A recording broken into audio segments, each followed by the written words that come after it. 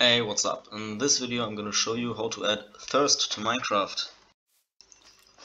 When I'm just a little thirsty I will get a permanent mining fatigue effect, so let me just show you.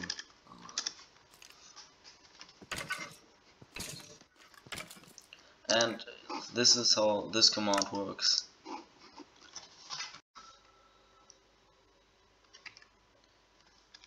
When my thirst is 2 I'll just get a permanent weakness effect and this is how this command works. With thirst 3 I'll just start to randomly get the blindness effect. Sorry. As you can see here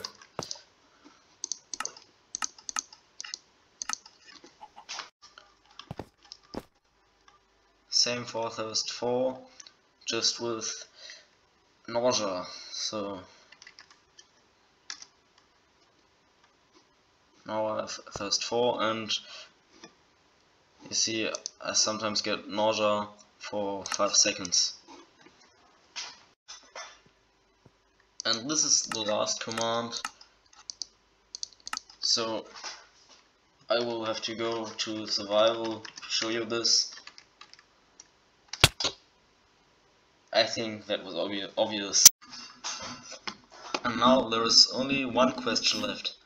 How do I get rid of it? Not hard at all. You just have to jump inside water, so better take a water bucket with you. That's the command to make you always get thirst. And this is the command to get rid of it so I hope you enjoyed the video